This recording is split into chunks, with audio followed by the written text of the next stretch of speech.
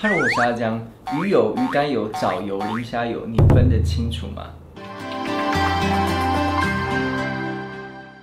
先来讲大家熟悉的鱼油，它取自于整只鱼，因为海洋重金属的关系啊，所以多半鱼油会取自于小型鱼类，像是凤尾鱼、沙丁鱼、提鱼。鱼油对我们有帮助的成分是 EPA 跟 DHA，像是小孩、孕妈妈、年迈的老人，或者是不太常吃深海鱼类的人都很适合。而且啊，童话故事里有说啊，人鱼公主落下了泪，化成了珍珠。如果想让珍珠再大颗一点的话，可以多补充鱼油。再来是鱼。鱼肝油，它跟鱼油只差一个字啊，所以很多人搞错。还有，它们是两个完全不一样的东西。顾名思义，鱼肝油是取自于鱼的肝脏，大部分来自于鳕鱼或者是藻鲨。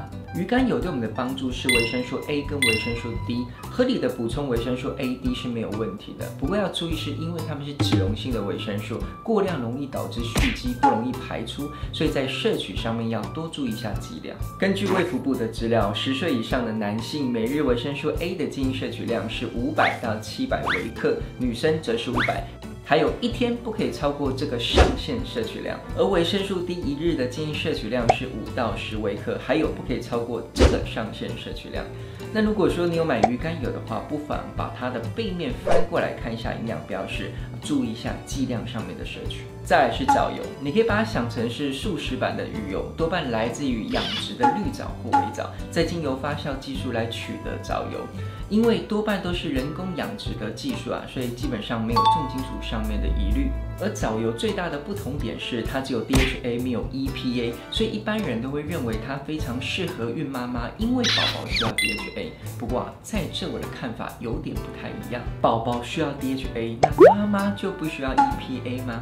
当然，如果说你害怕之后引起了问题，你可以在第三十二周的时候停止服用，或者询问一下妇产科医师的意见。再来是磷虾油，它取自南极的磷虾。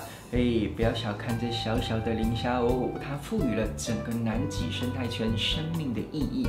不过啊，我在这不讨论环保上的议题，先来看看它的价值。磷虾有提供的营养成分是磷脂质、EPA、DHA、虾红素。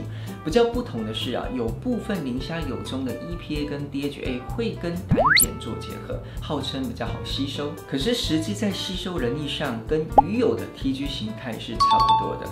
那我们回到它的价值来看的，磷虾油中的 EPA、DHA 跟鱼油相比的话，浓度是不高的；而磷虾油中的虾红素跟红枣相比的话，也是不高。